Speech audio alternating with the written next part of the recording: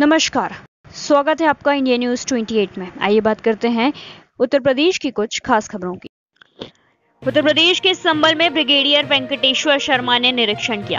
UP 33 battalion NCC Joya Amroha Smoli के K S degree college cadets का द्वारा God of honour प्रदान किया गया। जनपद संबल ब्रिगेडियर वेंकटेश्वर शर्मा ने किया निरीक्षण। एनसीसी बरेली ग्रुप हेडक्वार्टर के ब्रिगेडियर वेंकटेश्वर शर्मा के सम्मान में कर्नल आर दत्ता रॉय के निर्देशन में 33 UP battalion NCC Joya Amroha के Shri K S degree college Asmoli के एनसीसी कैडेट्स द्वारा गार्ड ऑफ़ ऑनर प्रदान किया गया। इस दौरान सूबेदार मेजर लाल मोहम्मद खान ने प्रोटोकॉल का पालन करते हुए 33 बटालियन का निरीक्षण कराया। इसके लिए ब्रिगेडियर वेंकटेश्वर शर्मा ने 33 यूपी बटालियन कार्यालय का निरीक्षण कर रखरखाव की सराहना की और कर्नल राय दत्ता बस सूबेदार मेजर मोहम्मद लाल खान के कार्यों के सभी कार्यों की प्रशंसा की। ब्रिगेडियर वेंकटेश्वर शर्मा ने एनसीसी स्टोर कार्यालय हथियारों का निरीक्षण करते हुए कर्नल आर दत्ता राय व सूबेदार मेजर मोहम्मद लाल खान का कार्य उत्तम और सुंदर बताया।